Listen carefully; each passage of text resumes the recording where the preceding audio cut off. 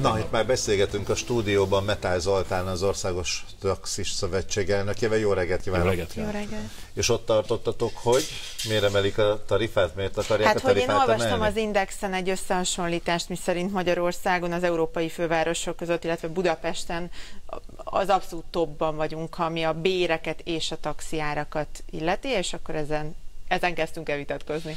Nem vitatkoztunk, csak beszélgettünk. Az a helyzet, hogy mi is olvastuk ezt a cikket ezen a portálon. Azt kell mondjam, hogy nagyon fars és diszonáns volt, amit láthattunk és olvashattunk, hiszen egy olyan összehasonlítást láthattunk, hogy egyféle fajta szemszögből, ami ferdítés. Mi is készítettünk egy táblázatot, láthatják Ez a nézők, önöké? láthatják a nézők, hogy hogyan néz ki jelenleg a tarifa Európában, európai városokban, Budapesten.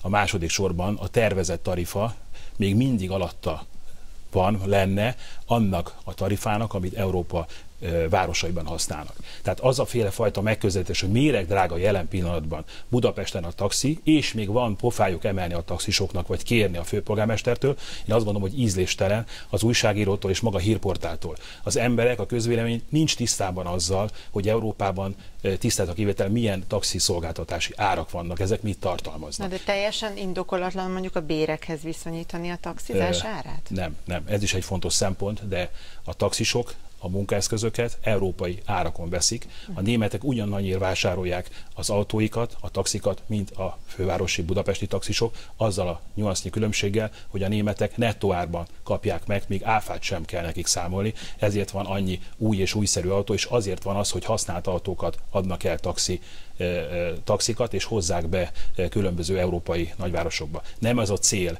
hogy roncs derbit üzemeltessünk Budapesten, és ilyen autókkal legyen tele ismét a főváros. Elindult egy folyamat 2013-ban, ma már a fővárosi taxiknak az átlag életkora 5 és fél év, ami Európában azért kimagasló és egyedülálló. Azt gondolom, hogy figyelembe kell venni azt, hogy milyen bérek vannak, nem rugaszkodtunk el a valóságtól, megfizethető még mindig a fővárosi taxi. Igen. Úgyhogy uh, emelni kell Emilia az árakat, mert megfizethető. Egyébként most tegye szívére kezét, tehát uh, a géppark, azt nem tudom, ez az autópark, szerintem azért hagy kívánni valót Budapesten. Mire Tisztelt a gondol? De mire kivételnek. Hát az autóknak az állapotáról, az autóknak az életkoráról, a benne ülő sofőrről, annak a figyelmességéről, hát nem tudom, helyenként mondjuk a tisztaságáról. De van egy nagyon fontos ö, szempont, elnök úr. Megvan önnek az a tavalyi felmérés, nem tudom már kik, kik végezték, amiből megint kiderült, hogy Magyarországon a taxisok részéről még tovább ö, dívik ugye a csalás.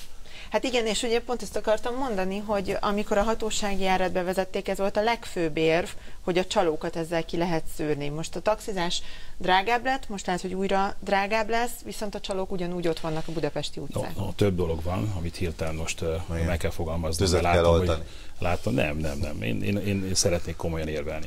Tehát nem a csalók miatt volt az általános rendrakás 2013-ban, hanem azért, mert egy olyan állapot, egy olyan torz állapot ö, ö, ö, volt a magyar budapesti valóság, hogy tulajdonképpen a vállalkozók nem tudták már ö, kitermelni a következő autóikat. Visszatérve, hogy Roncs Derby, 16 és fél éves volt az átlag életkora 2013-ban. 16 és fél. Hogy mit lát ön most a városba, én nem tudom, mert én nem azokat az autókat látom ezek szerint, vagy más szemmel nézem, mint ahogy önök nézik. 5 és fél éves az átlag életkor a taxiknak, ö, ami kimagaslóan ö, jó, olyan komfort felszerelés van, és olyan alapvető szolgáltatásokat nyújt a rendeletnek megfelelően a budapesti fővárosi taxiszolgáltatás alapáron, alapon kártya elfogadó berendezésről. Mutasson egy európai várost, ahol nem kell azért felárat fizetni.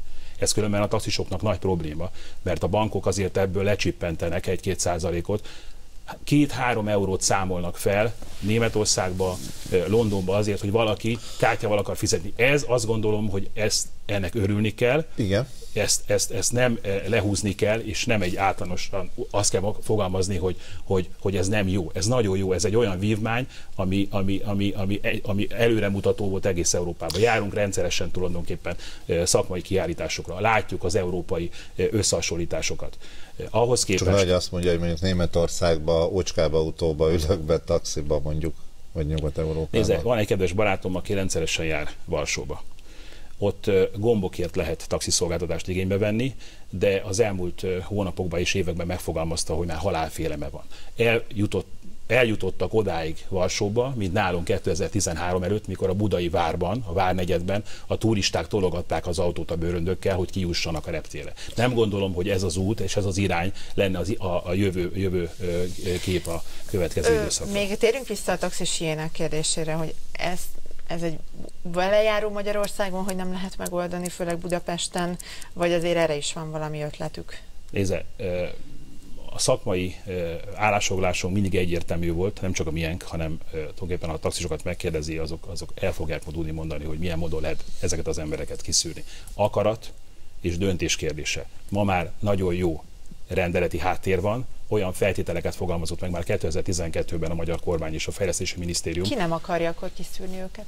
Nézze, megvan, megvan rá az akarat, megvan a rendeleti háttér. Én azt gondolom, hogy, hogy sok minden feltétel még hiányzik a hatóságoknak, hiszen a hatóságokat kéne megkérdezni, hogy miért nem tudják megfelelően díjazni ezeket a illegális vagy hiéna szolgáltatókat, akik rendszeres kárt okoznak. Ez különben ez az egy, és akkor nem akarok itt végszavazni, de ebben egyetértünk. Tehát ami önöknek nagy probléma, és a, a társadalomnak nagyon nagy probléma. De ez önöknek is nagy probléma. Is. Persze, hát nekik a legnagyobb probléma egyébként, ez a gáz.